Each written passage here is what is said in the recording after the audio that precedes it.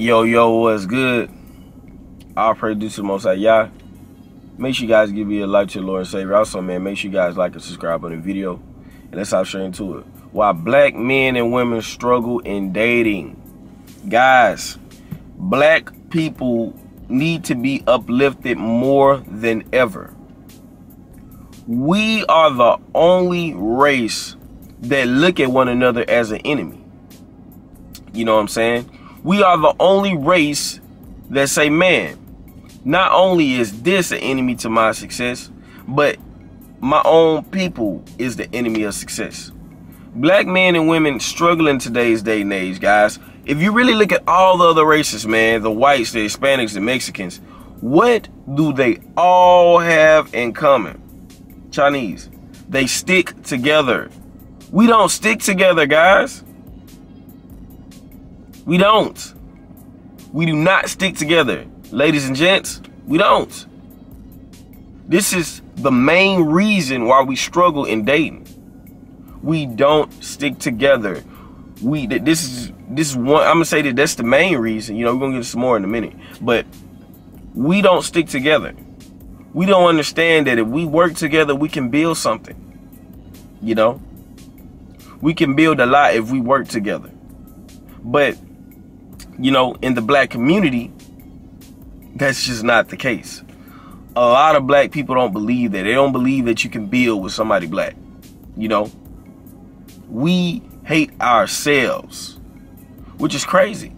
You know, which is crazy because when two black, when two, when a good black couple is working together, you guys see, you know, how beautiful of a thing that is. But um, you know, a lot of times it just won't happen, guys. Next is the social programming. Look at how, you know, social media, music, look at how it possesses black people to hate one another. It possesses black people to go throw that ass in a club, to go throw money on strippers, to go pop, pop a op, to um had a had a hot girl summer. It is promoting the detriment of the black woman and the black man. How do you expect a race like that when they're getting fed this type of crazy crap to be able to have successful marriages, have successful relationships? How do you expect any of that to happen? It can't because we are already being programmed to hate each other. We are being programmed to hate one one of ourselves, you know, ourselves because we too busy twerking. We too busy, you know what I'm saying, shooting each other. I don't know why my dog barking, man. I got some big ass dogs. But we too busy shooting each other. We're too busy doing all type of things like that, man. And when you guys understand this, you'll realize that a lot of times it's not just black people's fault, man. It's the social engineering in behind this crap, man. Look at the Sexyy Reds. Look at the Me Megan Thee Stallions. Look at the Cardi B's. Look at the Moneybagg Yo's, the Pooh Shiesties, the um, the uh, Snoop Doggs. Look at all the the crap, the poison we've been fed as a people, and you'll really realize why it's so hard to date. You know, too busy twerking. How can a man want a woman? How can a man want to date a woman that's twerking? How can a woman want to date a man that's out here trying to kill folks? That's very abusive. How, how can she want that? And the reason, listen, guys, we are hated as a people so much because we are really the most powerful. You know, I'm not sitting there saying that, you know what I'm saying? Oh, we are better than any other race, and we're not. You know, God made us all equal. But what I'm saying is, man, we are very powerful. You know, we are so powerful, but they don't want to see black people succeed. You know, you you just understand it just by being born black. You just understand it, man. And um, you have to realize, man, we have been socially programmed. We have been socially engineered to not like one another, to not coexist. It's just the bottom line with that, man. We are literally being just bamboozled into not liking each other, man. Next, guys, is trauma. A lot of black people, man, grow up in single parent households we grow up in single parent households. How can you expect, especially a single parent household with no guidance, you know? It's just been a single parent household. She your mom or your dad made it the best way they could, and that was that. You've never seen two parents coexist with one another for a very long time. You've never seen that, so you don't understand, you know, how a relationship should work, how a marriage should work. You don't understand that. You're just used to being in a single parent household, guys. The stereotypical, the statistical black person's where they came up. The black person's life. Trauma, man, and it goes deep because guys, you have to understand some. Sometimes black people we grow up in houses where we see our parent get beat, something like that.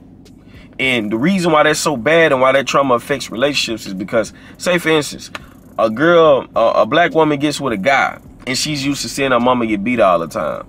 But this black guy is actually a good guy. He's in college, or you know, he's doing something with life. Even if he's not in college, he's just not a hood guy or nothing like that. That black girl that's used to that hood stuff, and she's used to seeing, you know, the females in her family get beat. She's gonna be combative to him. She's gonna be restrictive to him because she's used to seeing you know, she's used to seeing another black man hit, hit, hit you know what I'm saying, hit another woman. He's, she's used to seeing a woman get abused. That's what she used to seeing. And when this guy's not abusing her, when he's not beating her, when they have disagreements, now she doesn't want him. She doesn't, she feel like he's lame. She feel like he's nothing, you know? And she gets repelled from him because he's not abusive. He's not that way. And the same thing vice versa with a man. A black man might be used to dealing with, you know, hoes. They might grew up seeing their daddy pimp out hoes or something like that. They just might be used to seeing unworthy women. And they get a quality girl, you know. She's real, she take real good care of herself. She's very well spoken. She's classy and not all scandalous. And he tries to treat her like he's a pimp or something. And she'll she'll you know what I'm saying, he'll instantly be like, you know, she ain't nothing. When the whole times she probably one of the best girls he gonna get because he's been he he's been as a kid he's just been watching women get treated the wrong way and this is how he does it and that is not something that you can do with a classy woman you just can't they're not going to respond to that type of negative vibes man a bad woman a woman that's in the streets that's roaming the streets that's a street walker she's going to respond to that so you guys must understand that trauma is holding us back. Trauma is keeping us from liking one another, man. It's keeping us from connecting to one another. It really is, man. Black men and women have got to do better. We have got to realize that the best partners for us is us. But I will say this. If you just can't find nobody, you know what I'm saying, another black person, guess what? You do what you gotta do. You're gonna have to venture out your race. I hate to say it, but you're just gonna have to do it. You gotta go where you love. But um, you know, that's just that's just what it is with that man. Not every black woman wants a thug, man, but a lot of guys think that every black woman wants a thug.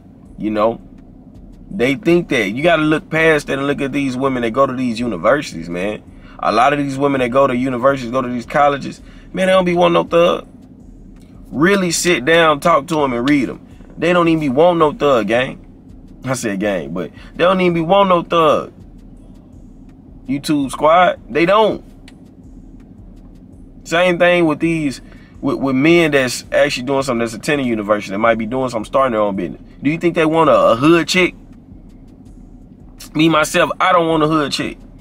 I don't. I would like them hood chick builds. You know what I'm saying? I, I love it like that.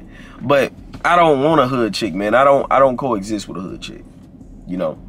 But um, you guys must understand that, you know, not every black woman wants a thug, and not every black man wants some hood hoochie. He he doesn't want that. So understand this, black people, man. We have to do better as a people. We have to really start looking in the mirror and seeing, am I the problem? Am I dating the wrong kind? We have to really look at that. We have to just say, okay, I might be dating the wrong type of person or it might be me. You feel me? But we have to do better, man. We have to really do better. But if you guys enjoyed this video, make sure you hit that like button. Also subscribe if you're new. Coming down below. And I'm out.